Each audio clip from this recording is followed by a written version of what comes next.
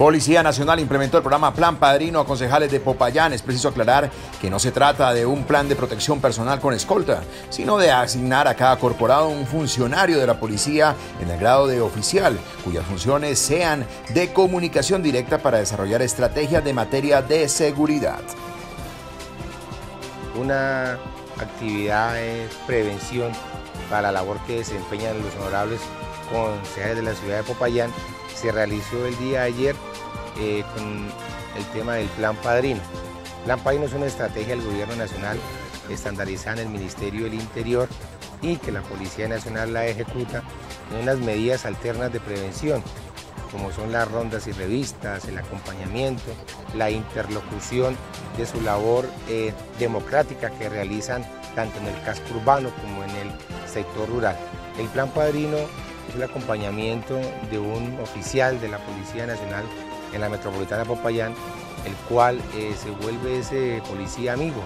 ese policía acompañante, el cual interactúa, el cual informa. Ellos establecen unos mecanismos de comunicación, tanto no solo en temas de seguridad, muchos temas adicionales diarios, que, inquietudes que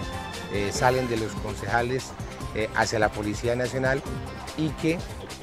esta actividad preventiva nos ha servido a nivel nacional para que nuestros concejales en todo el país puedan desarrollar libremente eh, sus eh, actividades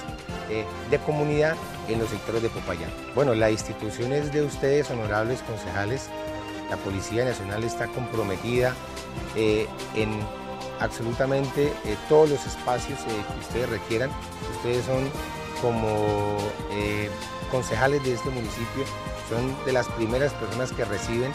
eh, los requerimientos ciudadanos, no solo en temas de seguridad, en algunos temas eh, sociales en las comunas